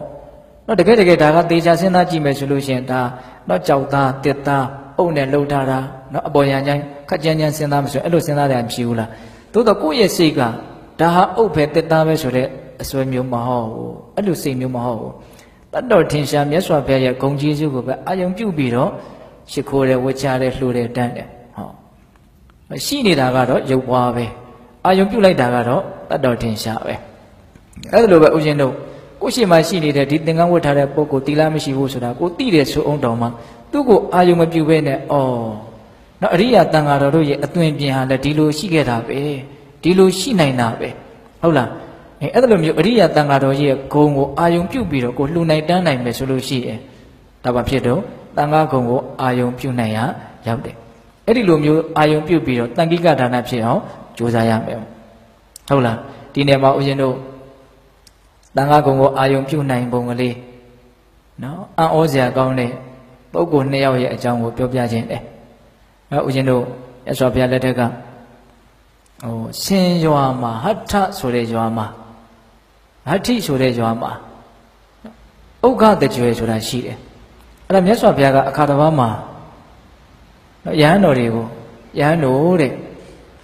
အဲ့ဒီဆင်ရွာမှာရှိတဲ့ ဥက္ခတကြွယ်ဟာအံ့ဩဖွယ်ရာရှင်မျိုးနဲ့ပြည့်စုံတဲ့ပုဂ္ဂိုလ်ဖြစ်တယ်လို့ရုတ်တရက်မြတ်စွာဘုရားကအဲ့လိုအမိန့်ရှိပြီးတော့အจิตတဝန်းဘာမှမပြောတော့ဘဲနဲ့ကျောင်းထဲကိုကြွားသွားတယ်အဲ့တော့ယဟန်တော်တွေရဲ့စိတ်ထဲမှာအော်အဲ့ဒီဥက္ကတကြွယ်ကြီးကဘယ်လိုအင်္ဂါတွေနဲ့ဘယ်လိုအံ့ဩစရာကောင်းတာတွေနဲ့ပြည့်စုံတာတုံးလို့တွေးပြီးတော့ပဲကြံရစ်တာအောင်အဲ့ဒါယဟန်တစ်ပါးကတော့တွေးမနေခြင်းဘူးတွေးမနေခြင်းဘူးသွားပြီးတော့ပဲမေးလိုက်တော့မယ်ဆိုတော့အဲ့ဒါတပိတ်လွယ်ပြီးတော့အဲ့ဒီဥက္ကတထေကြီးရှိတဲ့နေရာကိုသွားတာဗျာ သွားပြီးတော့တကားကြီးတကားကြီးကိုမြတ်စွာဘုရားကအံ့ဩဖွယ်ရာရှင်မျိုးနဲ့ပြည့်စုံတဲ့ပုဂ္ဂိုလ်တယောက်လို့ပြောတယ်တကားကြီးမှာအံ့ဩစရာတွေဘာတွေရှိတုံးပြောပါအောင်လက်တွေသွားမေးတာသွားမေးတဲ့အခါကျတော့ဥက္ကတထေကြီးကအရှင်ဘုရားတပည့်တော်မှာရှိတဲ့အံ့ဩဖွယ်ရာတွေကဘာတွေကိုရည်ရွယ်ပြီးတော့မြတ်စွာဘုရားကရှင်မျိုးရှိတယ်လို့ပြောလိုက်တာလဲတော့တပည့်တော်တော့မသိဘူးတဲ့ဒါပေမဲ့တပည့်တော်ရဲ့တန်တံမှာတပည့်တော်ကိုယ်တိုင်အံ့ဩတဲ့အံ့ဩယူရလောက်တဲ့နော်အကြောင်းအရာလေးတွေကတော့ရှိနေတာအမှန်ပဲတဲ့အဲ့ဒါကိုသူကပြောပြအဲ့ဒါကဘာလဲဆိုတော့ နံပါတ်1အံ့ဩစရာကနော်တပည့်တော်ခန်းကော်တော်ထဲမှာနော်အရက်သေးတာတွေတောက်စားမူးယူပျော်ပါနေတော့မှမြတ်စွာဘုရားကိုဖူးရတယ်တဲ့အဲ့ဒီဥယျာဉ်ထဲမှာအဲ့ဒါဘုရားကိုဖူးမြော်ရလိုက်ရခြင်းပဲအမူးတွေတခါလဲပြေသွားတယ်အောက်လို့ပြေသွားလဲတော့မသိဘူးအမူးတာတွေဘာမှမရှိတော့ဘူးအဲ့ဒါတပည့်တော်ရဲ့နံပါတ်1အံ့ဩစရာပဲတဲ့ဟုတ်လားနောက်နံပါတ်2အံ့ဩစရာကဘာလို့ဆိုတော့အဲ့ဒီဘုရားကိုဖူးမြော်ရတဲ့အခါမှာပဲမြတ်စွာဘုရားဟောပြတဲ့တရားကိုနာပြီးတော့ တပည့်တော်အဲ့ဒီအချိန်မှာပဲသောတာပန်ဖြစ်တယ်သောတာပတိမေညာကိုရတယ်သောတာပန်လည်းဖြစ်ပြီးပြီဆိုတော့တပည့်တော်ဟာတဲ့ဗြဟ္မစရိယတိခါဘုတ်လင်၅ခုမြောက်၅ပါးသောတီလာကိုတပည့်တော်စောင့်တည်လိုက်တယ်တဲ့၅ပါးတီလာထဲမှာကာမေတုမိစ္ဆာစာရရဲ့နေရာမှာဗြဟ္မစရိယတိခါဘုတ်ကိုသူထည့်လိုက်တာတပိတပေါင်းတို့တော့အလုံးသဘောပေါက်ပြီးသားဟုတ်လားကာမေတုမိစ္ဆာစာရကရှောင်းတယ်ဆိုတာဘယ်လိုဗြဟ္မစရိယကရှောင်းတယ်ဆိုတာဘယ်လိုအလုံးနားနေတယ်နော်အေး အဲ့ဒါကသူ့ရဲ့ဒုတိယအံ့ဩဖွယ်ရာဟုတ်လားနောက်တတိယအံ့ဩဖွယ်ရာကသူအိမ်ပြန်ရောက်လာပြီဆိုတော့သူ့ရဲ့ဇနီး၄ယောက်ရှိတယ်အဲ့ဒီဇနီး၄ယောက်ကိုခေါ်ပြီးတော့နှမတို့ငါကတော့ဒီအကျင့်ကိုကျင့်လာခဲ့ပြီဒါကြောင့်မင်းတို့ငါအိမ်မှာပဲမောင်းလို့နှမလို့နေခြင်းနဲ့ဆိုရင်လည်းပဲချမ်းချမ်းသာသာနေဘာမှကြောင်းကြစရာမရှိဘူးဒါပေမဲ့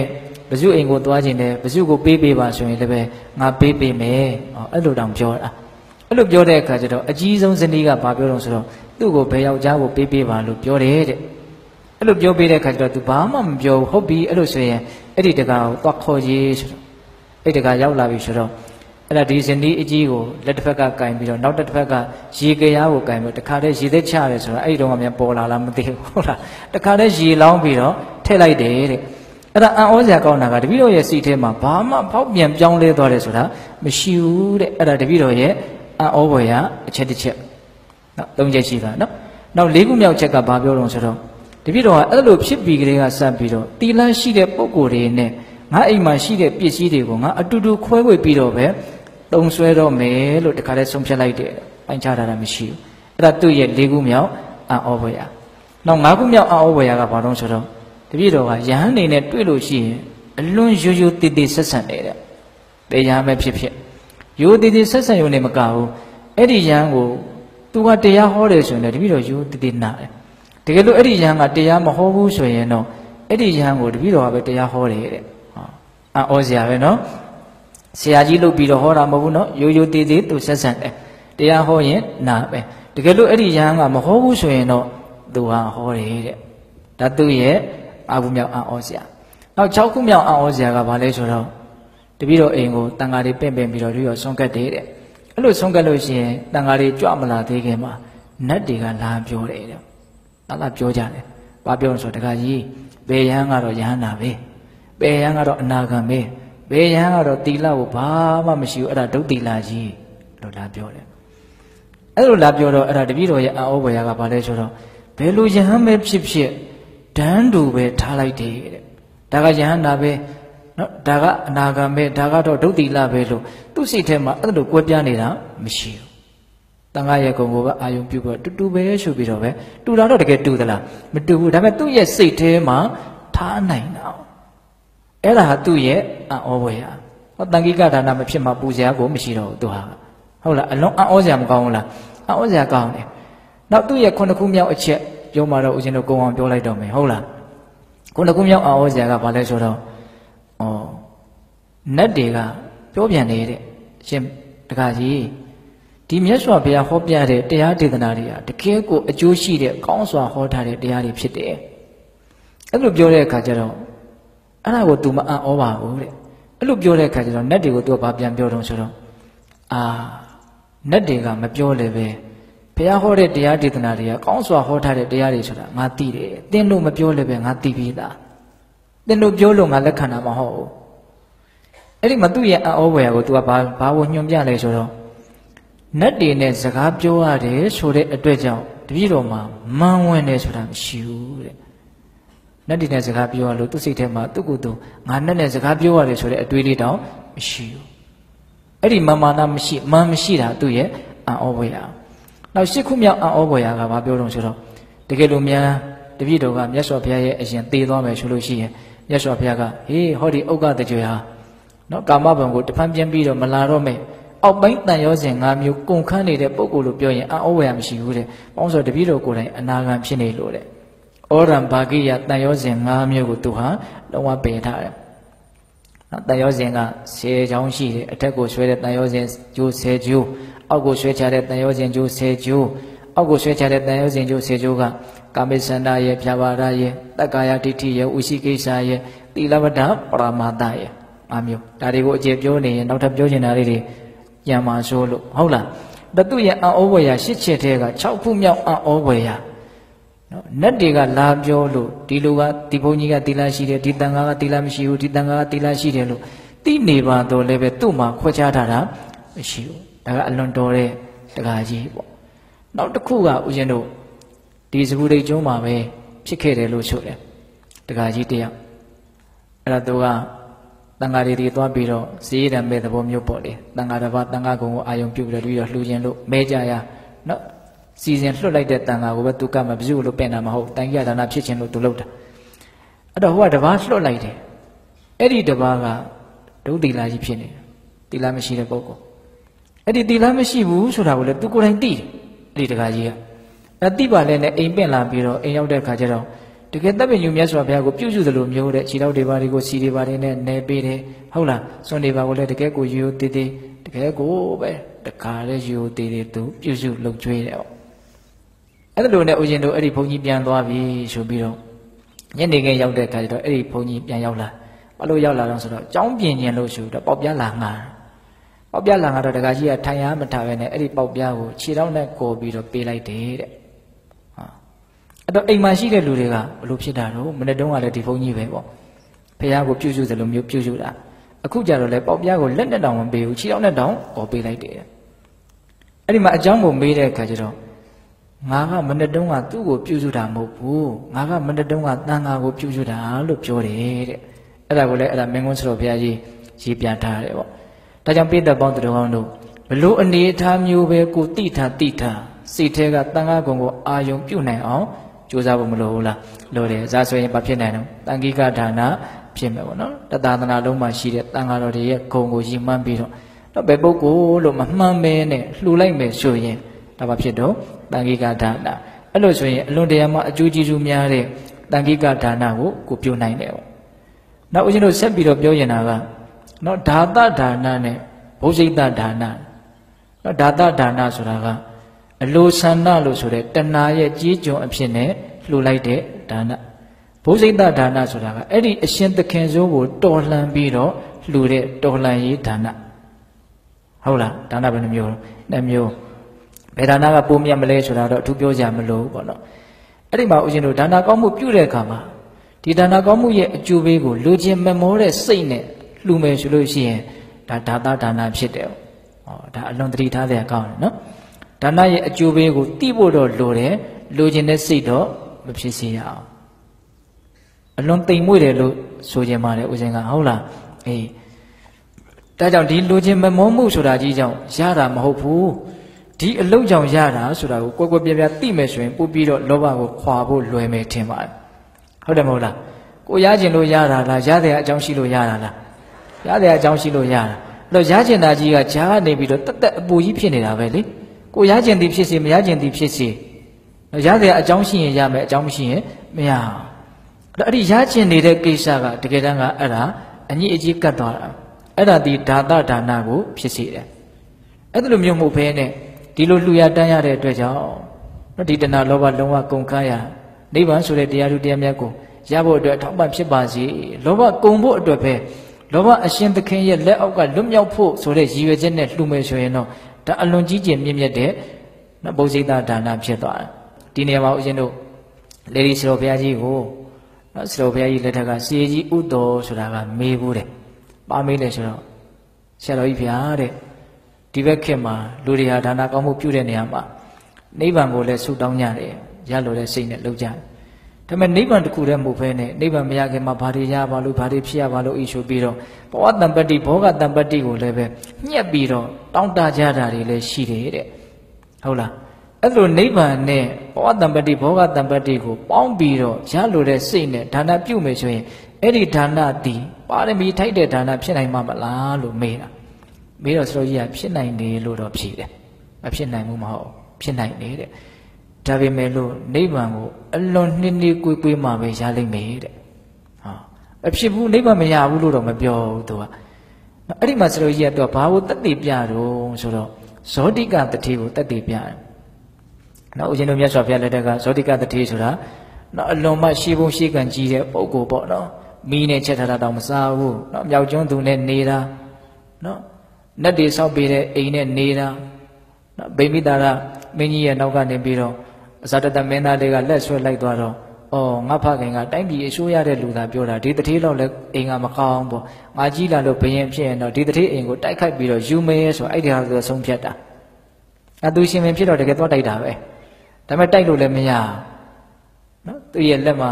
လက်ဆွဲဆယ်ခွန်းဆွတ်ထားတာသူသွားတရားနာနေတာအဲ့ဒီချိန်မှာသူ့အိမ်မှာနောက်ကနေပေါ့သာတတကဝင်တိုက်တာတိုက်လို့မရ အဲ့တော့ဝင်တိုက်လို့မရတော့ဖះကြောင်လာတဲ့ခါကျတော့အော်သင်ကတင့်ရဲ့အဆောင်နေနဲ့ပြစ်ထားကြတော့သင်ကဒီမှာလာပြီးတော့ရှောင်းတိန်နေတာလို့ထင်တာနော်သူကဖန်နေမှန်နေကာထားတာသူ့အရေးတွေသူလှန့်ပြီးတော့ဇာတတကတိုက်မရအောင်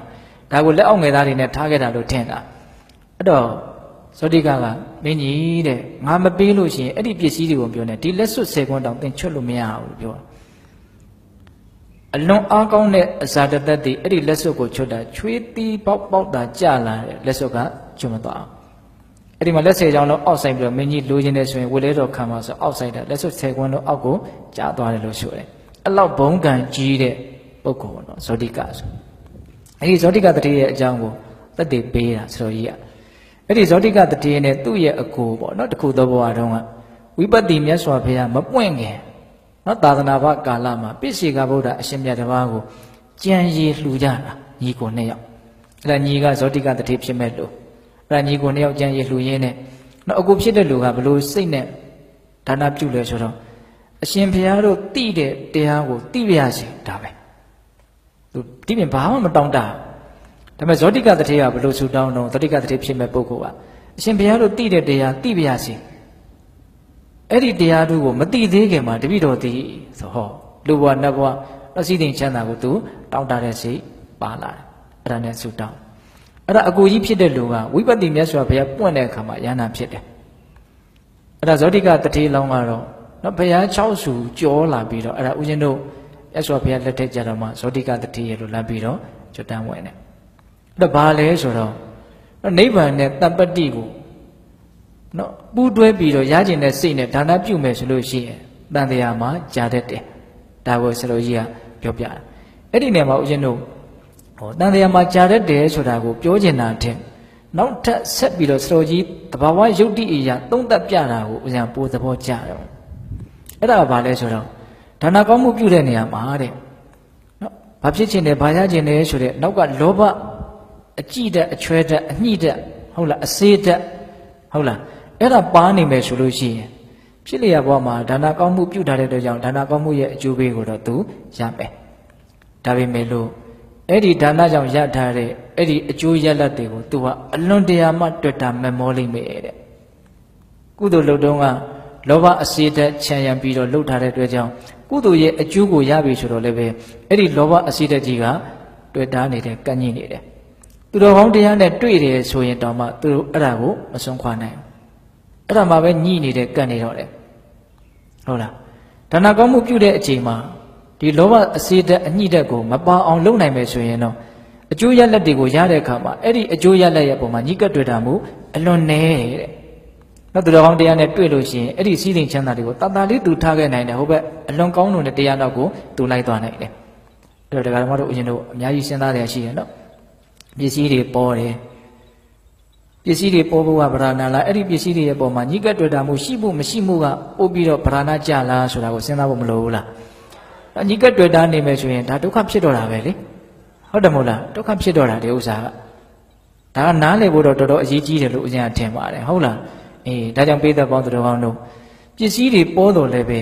အဲ့ဒီပေါ်များနေတဲ့ပစ္စည်းတွေရဲ့ပုံမှာညှိကပ်တွေ့တာမှုမရှိဘူးဆိုရင်အလွန်အကျူးအထူးမကောင်းဘူးလားအလွန်ကောင်းတယ်နော်ဒါကိုသုံးလို့ရတာပဲလေဟုတ်လားညှိကပ်တွေ့တာမှုရှိသည်ဖြစ်စေမရှိသည်ဖြစ်စေဒါကိုဟာတွေပဲသုံးရင်လည်းသုံးလို့ရနေတာပဲ ဒါပေမဲ့ညှိကပ်တွေ့တာနေမယ်ဆိုရင်တော့နှမျောမှုတွေဝန်တုံမှုတွေညှိမှုတွေတွေ့မှုတွေနဲ့အဖြစ်နေတော့ဒုက္ခရအောင်ဟုတ်လားဒါကြောင့်သူတော်ကောင်းတရားနဲ့တွေ့တဲ့အခါမှာအဲ့ဒီလုပ်ငန်းကိစ္စတွေအဲ့ဒီအရာတွေရဲ့ပုံမှာကိုမစွန့်နိုင်ဘူးမလွတ်နိုင်ဘူးဆိုရင်ဒါကိုကိုကိုဝေဖန်ရမယ်။အော်ငါဒါနာကောင်းမှုပြုတော့ကလောဘတွေမြန်ချမ်းရံခဲ့သလား။လောဘတွေချမ်းရံခဲ့ရင်အကျိုးရလက်ရတဲ့အခါမှာလောဘတွေဖြစ်နေလိမ့်မယ်။အဲ့ဒီအချက်စဉ်းစားတယ်မကောင်းဘူးလား။ကောင်းတယ်နော်။ဒါကြောင့်ဦးဇင်းတို့ပေးတဲ့ပေါင်းသူတော်ကောင်းတို့ ဒါသဒါနနဲ့ဘုဇိတဒါနဆိုပြီးတော့ဒီနှစ်ပါးမှာနော်ဘုဇိတဒါနဖြစ်အောင်နော်တဏှာဆိုတဲ့အရှင်သခင်စိုးကိုတော်လှန်တဲ့အနေအထားမျိုးနဲ့ပြုတဲ့ဒါနမျိုးဖြစ်အောင်ကြိုးစားဖို့မလိုဘူးလားလိုတယ်အေးဒါကဦးဇင်းတို့ဒါနတွေနဲ့ပတ်သက်ပြီးတော့အများကြီးပြောခဲ့တယ်ပေါ့နော်ဘယ်လိုပြုမလဲဆိုတာနဲ့ပတ်သက်ပြီးတော့အဲ့ဒီတဲကဦးဇင်းတို့အင်္ဂုတ္တပါဠိတော်အထက်ကနိပတ်ထဲမှာ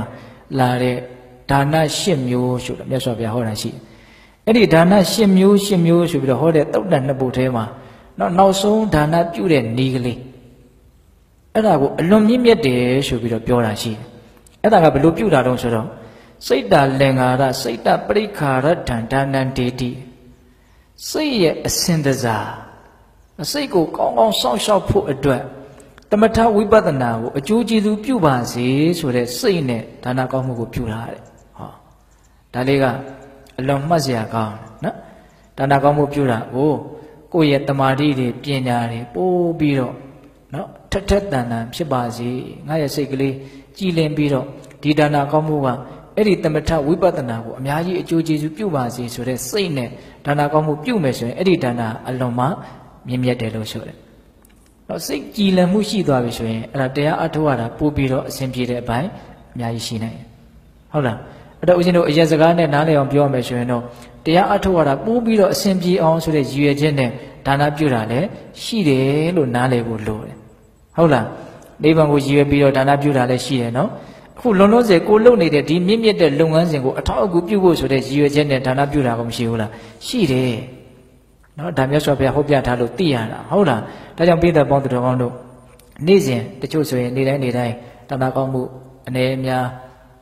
အမျိုးမျိုးတော့ရှိမှာပေါ့နော်ဒါနကောင်းမှုနေ့တိုင်းပြုနေတဲ့လူတွေမရှိဘူးလားရှိတယ်အဲ့ဒါတွေပြုတိုင်းပြုတိုင်းအဲ့ဒီလိုစိတ်ကလေးကိုဥတက်ပေးနိုင်မကောင်းဘူးလားကောင်းနော်ငါအခုလှူလိုက်တန်းလိုက်တာလေးကနော်တမာတိပညာကိုအများကြီးထောက်ကူပြုပါစေဆိုစိတ်ကလေးကပိုးလဲကြည်လင်သွားမယ်နော်တည်ငြိမ်မှုအတွက်အထောက်အကူပြုပါစေတိဖို့မြင်မှုအတွက်အထောက်အကူပြုပါစေဆိုတဲ့စိတ်ကလေးနဲ့သူများကိုပေးမယ်ဝေမယ်ဆိုရင်နော်အရန်ကြည်လို့ကြမကောင်းလား ကောင်းတယ်နော်ဒါကြောင့်ပေးတဲ့ပေါင်းတော်ကောင်းတို့အဲ့လိုဒါနကောင်းမှုကိုမြင့်မြတ်အောင်ပြုနိုင်ဖို့လိုတယ်ပေါ့ဟုတ်လား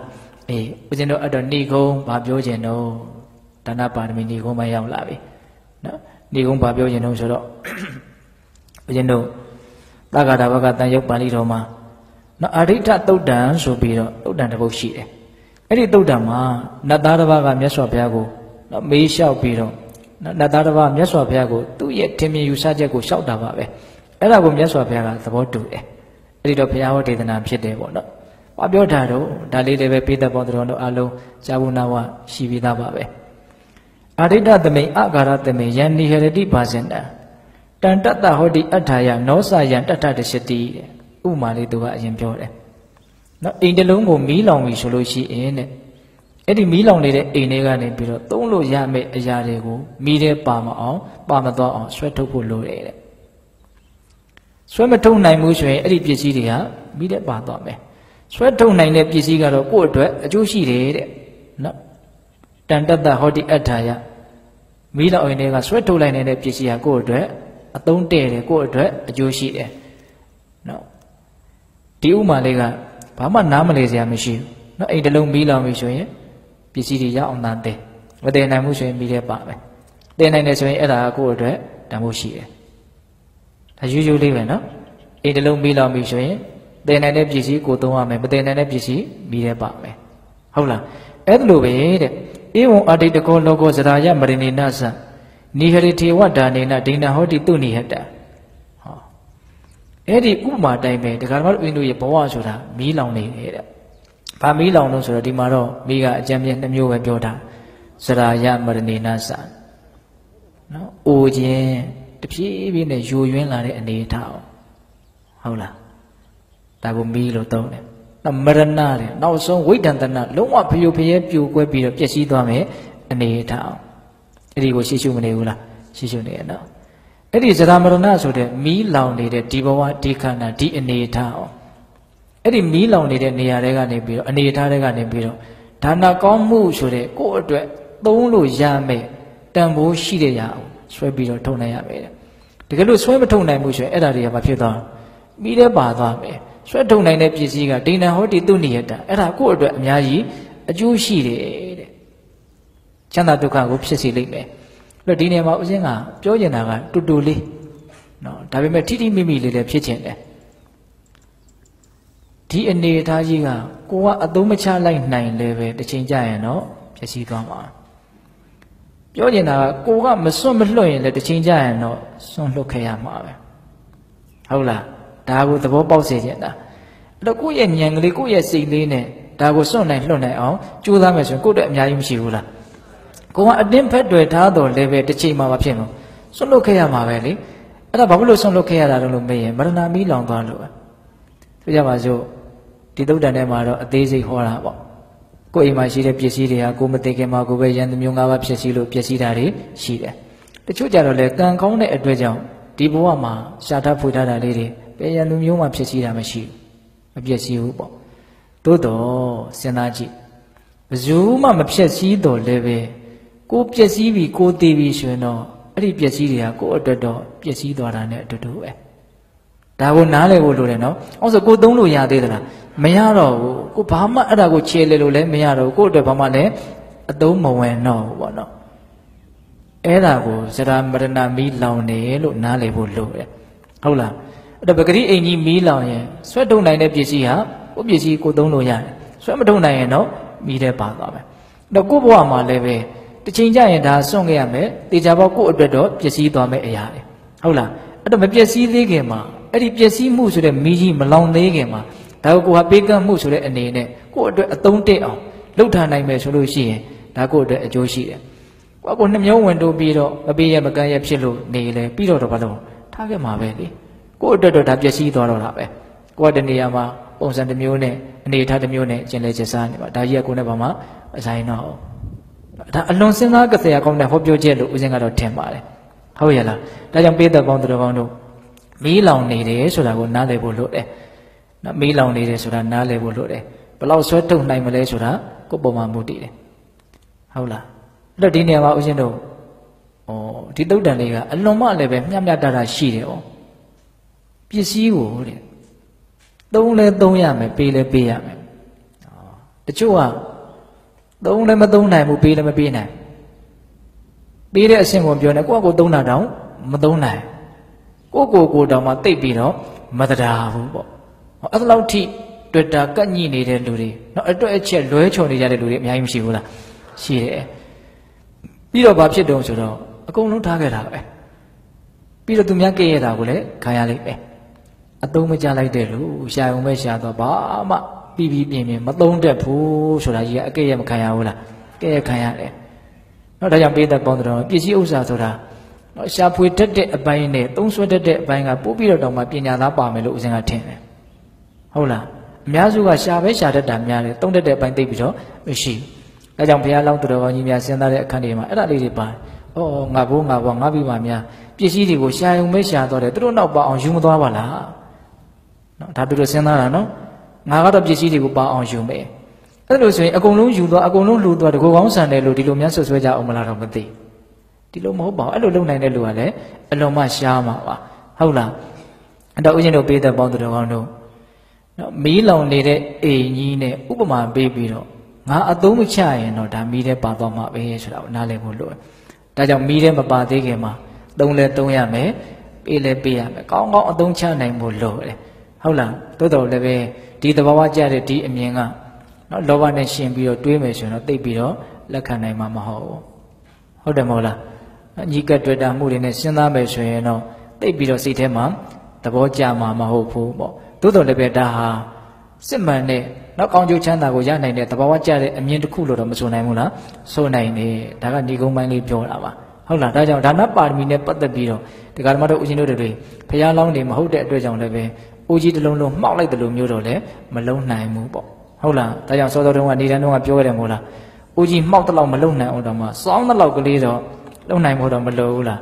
ဒါကိုလုံးနိုင်ရင်လုံးနိုင်တဲ့လောက်ကိုယ့်အတွက်ကောင်းကျိုးရှိမှာပါပဲနော်ဒါကြောင့်ပေးသက်ပေါင်းသူတော်ကောင်းတို့